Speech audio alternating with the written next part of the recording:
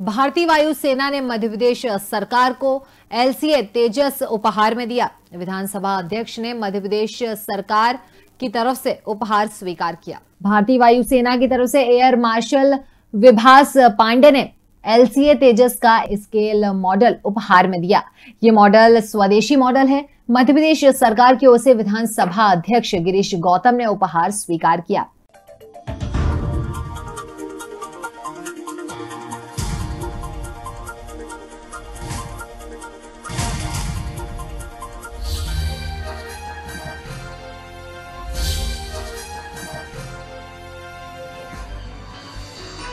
आप देख रहे हैं दखल न्यूज़।